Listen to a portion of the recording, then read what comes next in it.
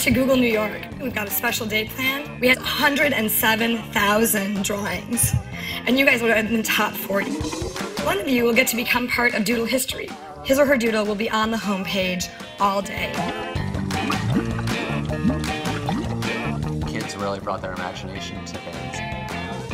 Kids see the world through a lens that adults can't really see it through anymore. The works that really stood out for me were the works where the student artists brought something really personal to the drawing. We look for creativity, uh, quirky or just beautifully drawn or something that's very simple yet striking. I think the Doodle for Google contest is a great way of showing that there's a worldwide community of creative minds at work, that it's happening at all levels, at all age levels, and that there's this tremendous natural resource of creativity and innovation out there.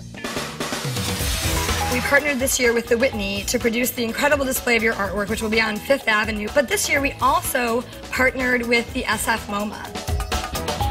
It's really cool. Who's excited? Woo! We're gonna make a stop now at Dylan's Candy Bar. I think that we're seeing a lot of kids here who will be the, the creative thinkers and the innovators of tomorrow.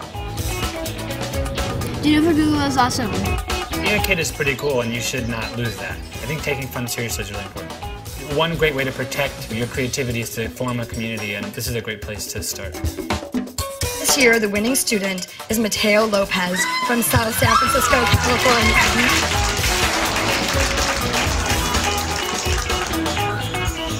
You're all winners because you're succeeding at something that you're passionate about and that you love, and that's art.